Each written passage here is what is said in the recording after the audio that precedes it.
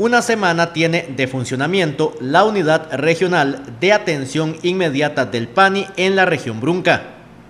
Y aunque su presentación oficial fue este jueves, ya atendió 13 casos en Pérez Celedón, Osa, Golfito, Corredores y Cotobruz. Han sido siete salidas, vamos a ver, siete urgencias, porque recordemos que la URAI lo que viene a atender son denuncias prioridad 1. Y aquella denuncia prioridad 1 es cuando usted, en el momento, en el proceso en que se está dando la situación, eh, lo hemos llamado históricamente aquí en el PANI, hay que salir chillando llantas. Han sido 13 denuncias a las cuales se le ha, ha dado protección a 28 personas menores de edad. Uno de los grandes pilares de la URAI, como se conoce a esta unidad, es la protección que tendrán las personas menores de edad después de las 4 de la tarde y los fines de semana. Vamos a tener tres horarios que es el horario diurno, el vespertino y el nocturno.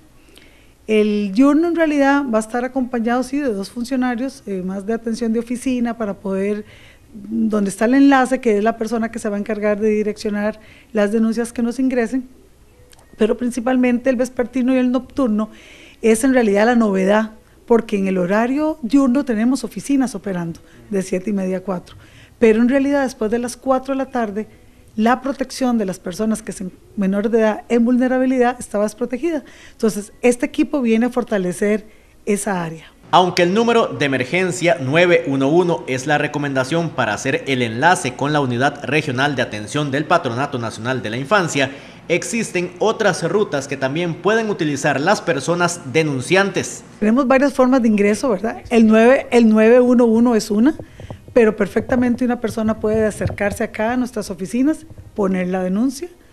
Puede ser organizaciones públicas o privadas por medio de una llamada telefónica, por medio de un, correo electrónico, por medio de un escrito. Eh, puede la persona llamar también. Em, pero sí, principalmente el 911 va a ser el enlace que nos va a direccionar esa denuncia que antes llegaba a San José se quedaba San José y hasta que la, oficina abriera a las siete y media de la mañana y principalmente un fin de semana, imagínese usted darse una situación un viernes por la noche y debían esperar hasta las siete y media de la mañana del día lunes para ser atendida.